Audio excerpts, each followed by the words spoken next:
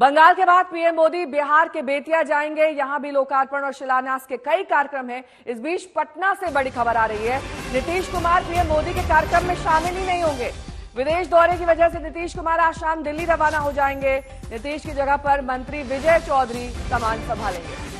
विदेश दौरे के लिए देर शाम दिल्ली रवाना हो रहे नीतीश। ऐसे में प्रधानमंत्री के कार्यक्रम में उनकी मौजूदगी नहीं होगी। हालाँकि ये पहला मौका नहीं होता जब दोनों आमने सामने होते उनके बीजेपी ज्वाइन करने के बाद। शशि भूषण, मेरे सहयोगी, जुड़ गए हैं तमाम जानकारी के साथ। एनडीए में सम्मिलित होने के बाद से ये दरअसल एक अच्छा मौका था नीतीश और प्रधानमंत्री की मुलाकात का, शशि भूषण। लेकिन वो विदेश जा रहे हैं।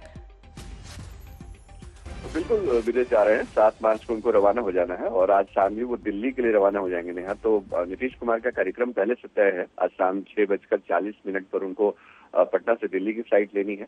तो इसी वजह से चूँकि प्रधानमंत्री का जो कार्यक्रम है बेतिया में, वो तीन बजे और उसके आसपास है तो देर हो सकती है वहाँ पे। इसलिए नीतीश कुमार आज के कार्यक्रम में शामिल नहीं होंगे। दो मार्च को प्रधानमंत्री जब औरंगाबाद और बेगूसराय, दो कार्यक्रमों में उन्होंने शिरकत की थी। नीतीश कुमार ने मन साझा किया था। आज बिहार सरकार के मंत्री जो हैं जेडीयू कोटे से आ, मंत्री विजय कुमार चौधरी वो मंच साझा कर सकते हैं वो मंच पे रह सकते हैं। तो आ, ये आ, इसी वजह से फैसला लिया गया क्योंकि नीतीश कुमार का कार्यक्रम पहले से तय है उनका विदेश दौरा कल से है और इसी वजह से नीतीश कुमार जो है वो आज बेतिया के कार्यक्रम से दूर रहेंगे।